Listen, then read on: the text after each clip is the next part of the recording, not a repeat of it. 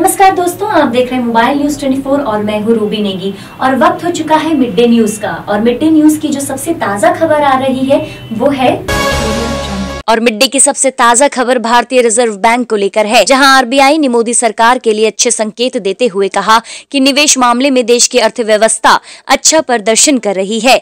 नौकरियों के अवसर पैदा करने वाले मध्य एवं लघु उद्योगों में भी निवेश बढ़ा है।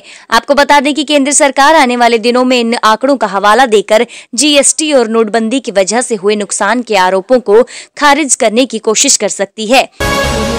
और मिड डे की अगली ताज़ा खबर, उद्योगपति एवं कांग्रेस अध्यक्ष राहुल गांधी के जीजा रॉबर्ट वाड्रा को लेकर है, जहाँ वाड्रा ने अपने ऊपर दर्ज एफआईआर मामले पर कहा कि असली मुद्दों से ध्यान भटकाने के लिए उनके खिलाफ गुरुग्राम के ज़मीन सौदे में अनियमितताओं के आरोप लगाकर मामला दर्ज करवाया गया है। और मिड डे की अगली ताज़ा खबर मालदीव से है, जहाँ अब तक मालदीव अपनी जरूरतें काफ़ी हद तक भारत के सहयोग से पूरा करता था, लेकिन अब मालदीव ने चीन से हाथ मिला लिया है। मालदीव ने चीन की मदद से एक फ्लाईओवर बनवाया है, जिससे भारत नाराज़ है और अपना विरोध भी जताया है। और मिड डे की अगली ताज़ा खबर तेलंगाना से है, जहाँ तेलंगाना में आज टीआरएस की महारैली होने जा रही है। खबर है कि इस रैली में सीएम चंद्रशेखर राव विधानसभा भंग करने की घोषणा कर सकते हैं। और मिड डे की अगली ताज़ा खबर दिल्ली से है, जहाँ आज दिल्ली एनसीआर में आज सुबह से ही झमाझम बारिश ने लोगों का संडे सुहाना बना दिया है। वैसे तो आज छुट्टी के कारण सड़कों पर ज़्यादा ट्रैफ़िक नहीं था, परंतु लोग घूमने के मकसद से निकले और उन्हें काफ़ी परेशानी का सामना करना पड़ा। और मिड डे की अगली ताज़ा खबर राष्ट्रीय पुरस्कार को लेकर है, जहाँ यूपीए शासनकाल में दिल्ली के लुटियन क्षेत्र में पद्म पुरस्कारों के लिए खूब पैरवी होती थी, जिसे मोदी सरकार ने प्रतिबंध लगा दिया और अब भारत आज़ाद में पहली बार है कि उन पुरस्कारों के लिए राज्यों से श्रेष्ठ टीचरों के नाम प्राप्त करने की प्रक्रिया को बंद कर दिया गया है। मानव संसाधन विकास मंत्री प्रकाश जावड़ेकर ने फैसला किया कि भारत भर से श्रेष्ठ अध्यापकों के आवेदन सीधे ऑनलाइन आमंत्रित किए जाएँ। शर्त केवल यह थी कि राष्ट्रीय पुरस्कार प्राप्त करने वाले अध्यापक ने शिक्षा क्षेत्र में असाधारण योगदान दिया हो या कोई नया काम किया हो।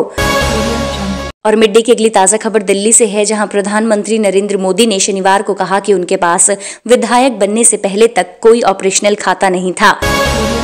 और मिड डे की अगली ताज़ा खबर राजस्थान से है, जहाँ राजस्थान गौरव यात्रा में सुरक्षा के चाक चौबंद इंतजामों के बावजूद राजस्थान की मुख्यमंत्री वसुंधरा राजे को बाड़मेर में आयोजित एक जनसभा में काले झंडे दिखाए गए। हालाँकि बाद में पुलिस ने इन लोगों को पकड़ लिया और इन्हें सभा स्थल से बाहर ले गए।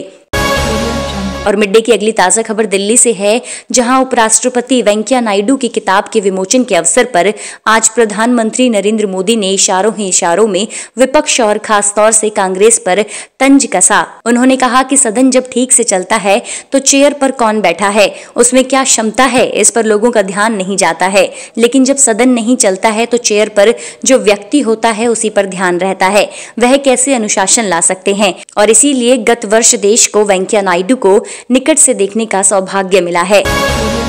और मिड डे की अगली ताज़ा खबर एशियन गेम से है, जहाँ एशियन गेम में सड़सठ साल के इतिहास में सर्वश्रेष्ठ प्रदर्शन करने के बावजूद भारत टॉप फाइव में जगह बनाने में नाकाम ही रहा। बता दें कि भारत ने एशियन गेम्स में अब तक उनहत्तर पदक जीते हैं, जो पिछली बार की तुलना में ज़्यादा हैं। तो ये थे मिड डे की ताज़ा खबरें और ऐसी ही खबरों से अपडेट रहने के लिए आप हमारे चैनल को अभी सब्सक्राइब कर लीजिए। साथ ही दिए गए सब्सक्राइब बटन के साथ जो नोटिफिकेशन बेल है, उसे भी दबा दीजिए ताकि आप भी रह सके देश और दुनिया की तमाम खबरों से अपडेट।